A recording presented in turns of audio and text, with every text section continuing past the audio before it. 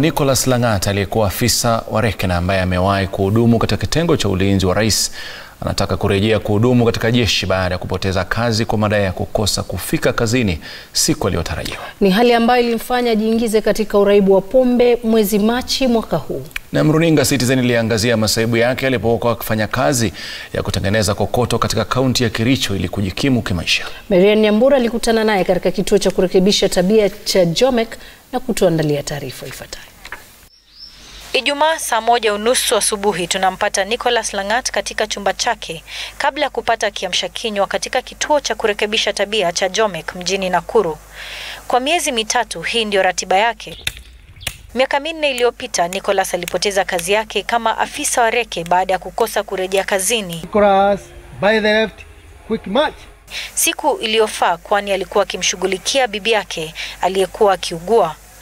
Ni tukio ambalo lilimfanya zongwe na mawazo na kisha kugeukia pombe. Nilitoka kazini nikakuwa na some sorts of stress, ikanifanya to extend nikajiingiza kazi ya kupiga mawe, eh, kukunywa pombe. Eh, Saa vile ilifikia hiyo kiwango, nikastukia watu wa media wamekuja mpaka kwangu. Hali yake Langat ambaye aliwahi hudumu katika kitengo cha ulinzi wa rais iliwashangaza wengi ambao walimtaka Langat apate usaidizi wa kipekee.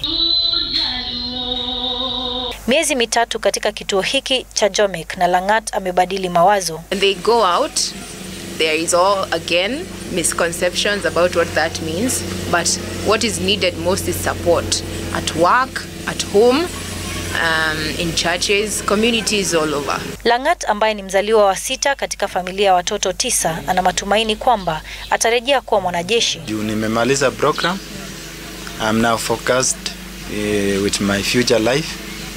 I admit to the uh, government if uh, given a chance to be reinstated, I'll uh, actually uh, say thanks. I would like to urge everybody, the families, the government, the, uh, the pri- private sector, that somebody going through this, the triggering point is because of frustration, stress, particularly because of employment or lack of funds. Please make sure that you can afford him employment. Don't look at him and look at his ugly past. Ni ukurasa mpya kwake Nicholas Langat ambaye anaamini kuwa kuteleza sio kuanguka.